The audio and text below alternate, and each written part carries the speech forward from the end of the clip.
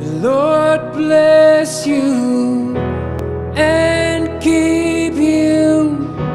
Make his face shine upon you and be gracious to you. The Lord turn